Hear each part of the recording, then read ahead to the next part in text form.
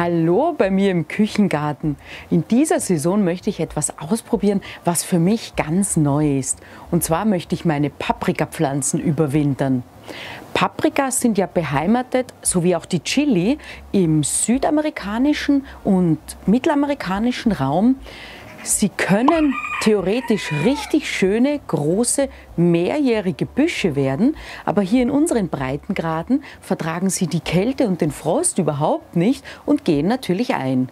Ich hatte in diesem Jahr wirklich ein paar beachtliche Paprikapflanzen, von denen ich auch schön geerntet habe, sogar noch jetzt Mitte November. Diese hier habe ich im Topf gezogen, weil ich im Freiland nicht mehr genug Platz hatte. Aber ich hatte auch in meinen Beeten einige Paprikapflanzen. Ich lege da immer besonders Wert, dass sie kälteverträglich sind und auch im Freiland möglichst zur Ausreife kommen.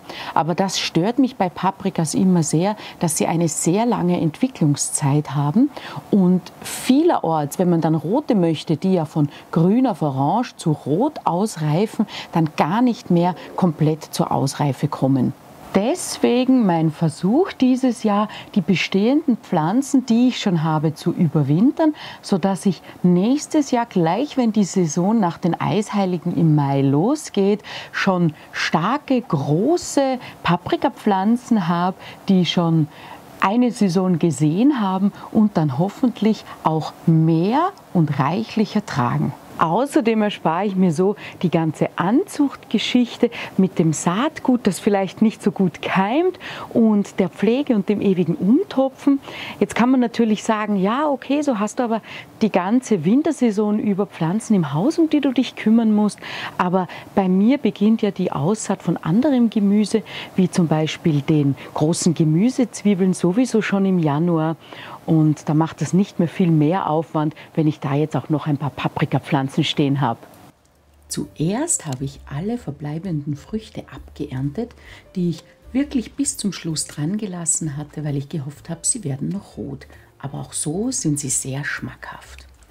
Leider, weil ich so spät dran war und es ziemlich stark geregnet hat, haben auch die Schnecken schon ihr Unwesen getrieben naja, damit muss man halt rechnen. Trotzdem war die Ernte noch sehr schön. Es ist wirklich ein Jammer, wie viele Blüten und kleine Früchte da immer noch dran sind. Es könnte ewig so weitergehen, aber jetzt müssen sie leider alle weg. Zum Überwintern muss ich die Pflanzen mit ins Haus nehmen, also grabe ich sie vorsichtig aus oder ziehe sie einfach aus dem Boden, so wie diese hier, da die Erde sehr locker ist und schüttel den Wurzelballen gut aus, um ihn von restlichen Substrat zu befreien. Dann kommt der Rückschnitt. Hier seht ihr die Knoten oberhalb denen ihr am besten zurückschneidet, denn von dort treibt die Pflanze nachher neu aus. Dann entferne ich alle Blätter und kleineren Äste und so sollte es am Schluss dann aussehen. Wichtig ist dann auch den Wurzelballen zu spülen, um verbleibende Schädlinge oder Bakterien zu entfernen. Eine recht meditative Arbeit. Zu guter Letzt bleibt dann noch den Wurzelballen, wenn er recht üppig ist, zurückzuschneiden. Und dann ist der erste Schritt auch schon geschafft. Das frei gewordene Beet sieht dann so aus, recht abgesagt. Das werde ich jetzt neu mit Kompost mulchen und auffüllen und dann kann es bis zur nächsten Saison noch absacken.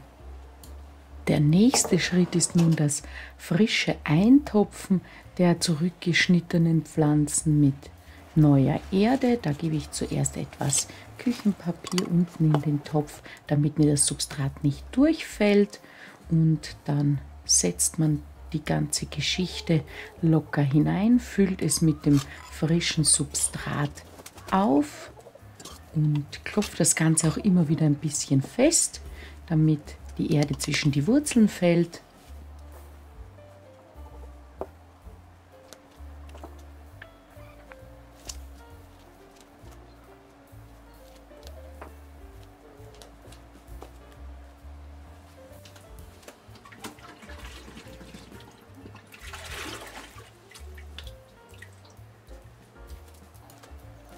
Dann noch gut angießen, damit die Wurzeln sehr schnell wieder Kontakt zur Erde haben. Und an einem kühlen, hellen Standort überwintern, regelmäßig gießen und dann werden sie sehr bald wieder austreiben und bis zur nächsten Saison schon wieder schöne Pflanzen sein.